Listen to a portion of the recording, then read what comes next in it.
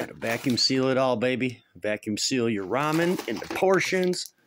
Vacuum seal your oatmeal and vacuum seal and vacuum seal and vacuum seal. Bitter critter out.